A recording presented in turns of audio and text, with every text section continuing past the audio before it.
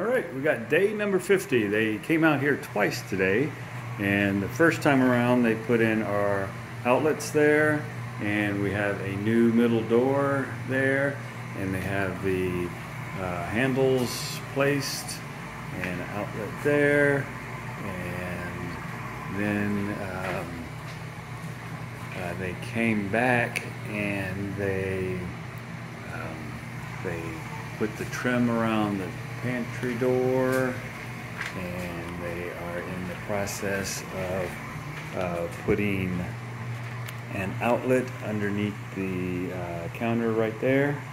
And they have that outlet painted to match the uh, the countertop. It's going to be up underneath it just to hide it a little bit. And oh they also uh, retextured my little uh, water leak that was uh, long since fixed, but they uh, are redoing the ceiling on that.